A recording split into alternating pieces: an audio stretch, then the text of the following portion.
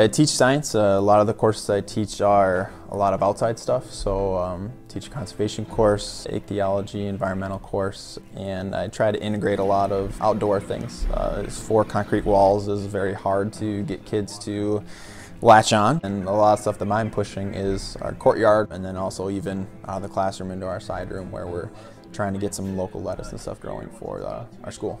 I don't have to do a lot to sell it because the kids sell it. They talk among themselves and say, hey, they're serving our lettuce today. That is such an advantage. I can't buy that kind of marketing. For my classes that are going to help grow the lettuce, I, I, I kind of want to be a fly on the wall when they walk through the lunch line and see their lettuce that they grew on the plates. This is what you call that hyper local. They can go and look at that produce in the garden one day and then eat it the next. You got to sustain yourself. A big part of it is being able to grow it and make some money and reinvest it and keep going. So it's not just sustainable in terms of being local, but uh, teaching kids too being sustainable in terms of economics as well. And uh, doing that in a way that they can be a part of.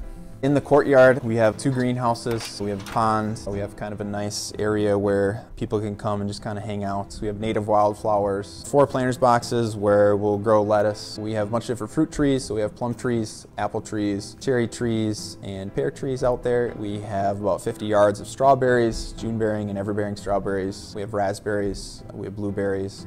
We have a compost area back there. We're got a chicken coop coming up. So there's a lot going on. Just trying to make it an area where we can grow a lot of food that the kids can have a hand in helping do that. One of the big things that I'm trying to push is to show them how circular it is. So if we're growing the lettuce in the classroom and then we give it to the culinary class and they make a salad and then the stuff they don't use gets composted in our courtyard that stuff turns back into a soil-like material. We use that to grow more lettuce. All of a sudden, the kids start to see the entire cycle. I mean, my goal by the time I'm done here is that we are providing enough food, whether that's lettuce, fruit, vegetables, for the district. And so that's starting small with just the high school and, and trying to provide as much as possible and, and starting with just lettuce and some fruits and stuff like that. But eventually if we can continue to, to grow, again, economically grow as well and reinvest into larger systems, we can